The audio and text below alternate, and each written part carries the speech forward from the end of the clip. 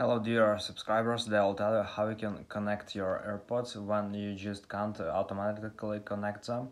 So for doing this just go to the settings, in the settings you need to find Bluetooth, just turn it on. So now you will see them, so just tap on it and now you can see that we successfully connected to our AirPods. So thanks for watching, have a nice day, subscribe to our channel, click like and bye.